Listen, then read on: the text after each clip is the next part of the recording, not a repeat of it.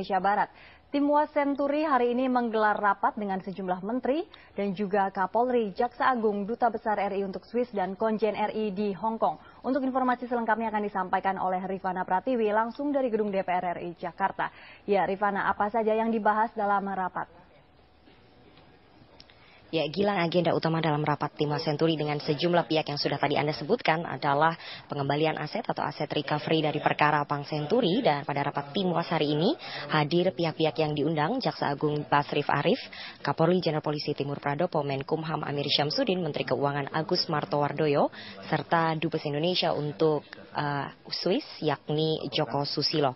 Ada sekitar 156 juta US dollar atau satu setengah triliun rupiah aset Bank Senturi yang kini tersimpan di Swiss dan aset tersebut adalah milik dari mantan direksi Bank Senturi yakni Rafat Al-Rifsi dan Hesham Al-Warak yang sedang diupayakan untuk dikembalikan ke pemerintah Indonesia dan aset tersebut kini berada di bawah custody atau pengawasan dari pengadilan komersial Zurich. Pengembalian aset bukan hanya berada di Swiss saja namun juga di Hong Kong sementara yang di Swiss sudah diupayakan melalui Mutual Legal Assistance atau MLA.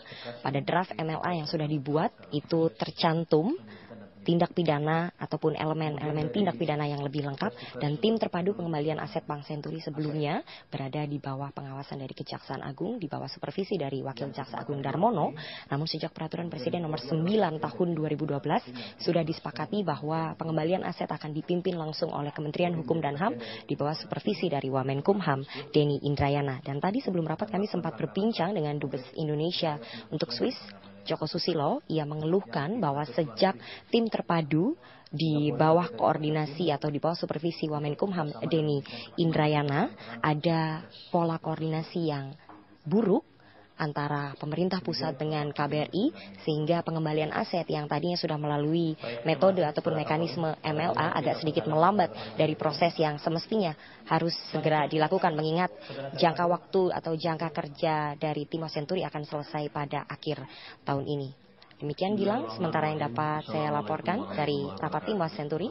Kembali ke Anda ke studio. Baik, terima kasih untuk laporan Anda. Rifana Pratiwi melaporkan langsung dari gedung DPR